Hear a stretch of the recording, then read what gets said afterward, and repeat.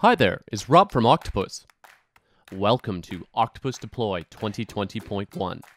This is our first release of 2020, and I'm excited to share it with you.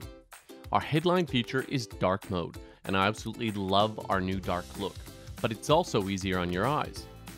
This release also helps Octopus and the Octopus CLI feel more at home on Linux and macOS. And we've also added support for environment and tenant specific worker pools, which is a big customer requested update. Let's get started. I have an Octopus Cloud instance running with a handful of projects in two environments, staging and production. Also notice that I have dark mode turned on and it looks absolutely fantastic. This is using a custom theme that our team designed just for Octopus and I think the level of polish really shows. I'm a developer and I use dark mode on just about everything I can, and so I feel right at home with dark mode in Octopus. It's quite easy to turn on, you just go to your profile menu and there's a new dark theme toggle there. Alternately, if you log in for the first time and you have dark mode set on your operating system, if Octopus can detect that, we will apply it automatically. Now, let's head over to our infrastructure area as I'd like to highlight a few updates. As I mentioned before, I have two environments and a handful of accounts and servers. But the thing that I want to highlight is my workers and worker pools. You can see that I have four workers and three worker pools, but really there's two that matter. So I'm going to jump into a worker pools and we'll take a closer look. If you're not familiar with workers, they enable teams to move deployment work off the Octopus server and onto other machines running in pools.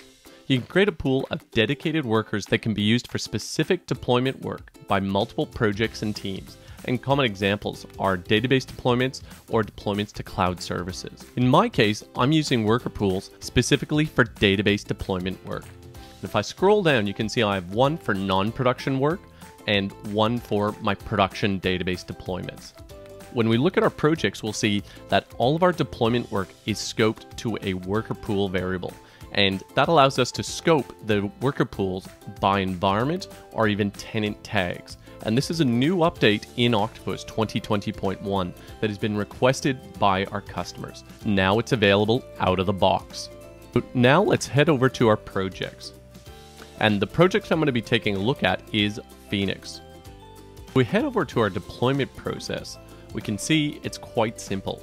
My Phoenix project is a simple website running in AWS and it has an RDS database backing it.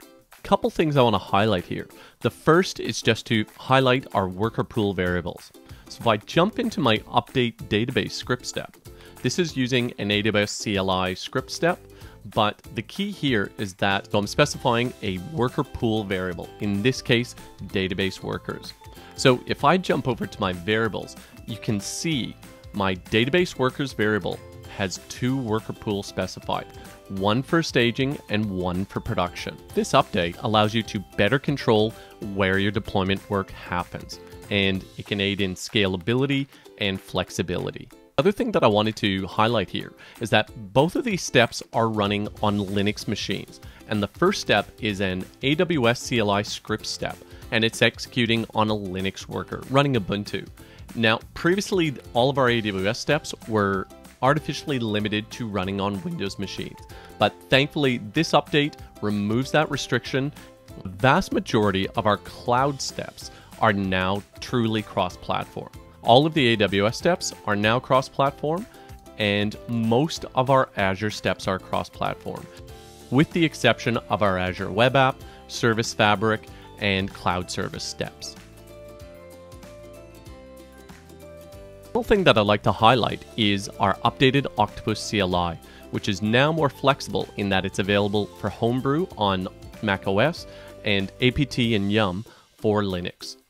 So you can now go to octopus.com slash download slash octopus CLI and you can see all the options to be able to download and install our CLI.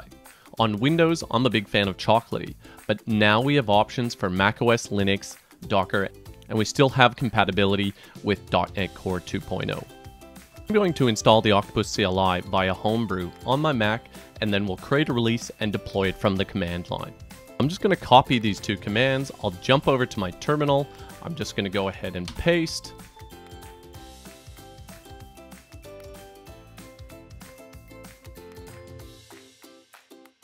So in one step, I was able to install the Octopus CLI, and it's now ready to go. If I type in Octo, I get the help text and I can start interacting with my Octopus instance. In my case, I'm going to create a release of the Phoenix project and deploy it all from the command line. So I'll go ahead and do that. So first I'm creating release and passing the server the project details. And you just watch in the background and you can see the new release has been created. There it goes. Now I'm going to go ahead and deploy.